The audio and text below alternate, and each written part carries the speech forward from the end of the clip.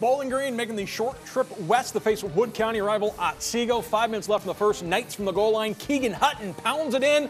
First score of the season. PAT no good, so it's 6 0. Second quarter, still 6 0. Hutton exploding from the backfield. No one getting a hand on him. An 18 yard scamper and mm. score. Otsego up by two scores.